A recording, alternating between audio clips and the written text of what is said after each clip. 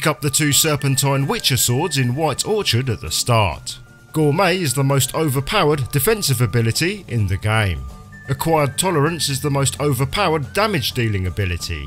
Consistently loot and sell all unwanted swords and armour. Then dismantle the rest you can't sell into weightless but useful mats. Purchase all alchemy formulas you see for sale at vendors. For 30% bonus to damage, build and maintain adrenaline during combat.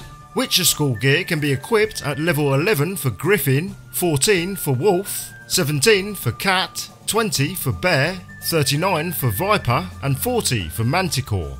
Purchase all repair kit diagrams from the Armourer in Hierarch Square and the Blacksmith at the Fish Market. On the inventory screen, press the right trigger for a full stat breakdown of your build. The most powerful skills in the game are mutations, and the most powerful mutation is Euphoria.